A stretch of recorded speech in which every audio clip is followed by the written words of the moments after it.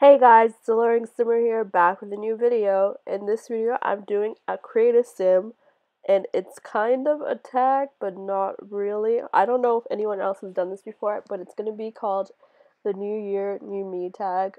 I really feel like it's probably already been done, but if not, basically, you just create um, a sim however you want to.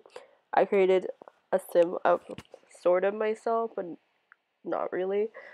And basically, for the aspirations and traits, it's related to what your New Year New Year's resolutions are.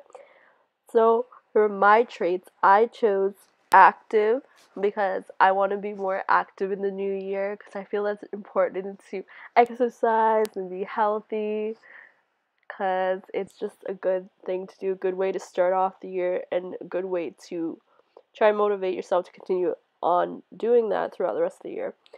For my next trait, I chose um, bookworm because I want to get more into my studies and focus a lot on school.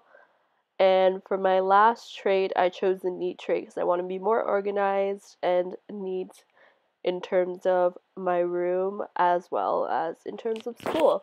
I just want to, and YouTube. I just want to be more organized, get things done, and I hope that 2017 is a good year for everyone. Um, if you guys enjoyed this video, feel free to give it a thumbs up. If you want to try this tag as well, then you can just post a video called New Year, New Me tag. I guess we can call it that. And if you want to, you can tag me so I could see your video. And yeah. So if you enjoy, give it a thumbs up. Subscribe to my channel if you haven't already.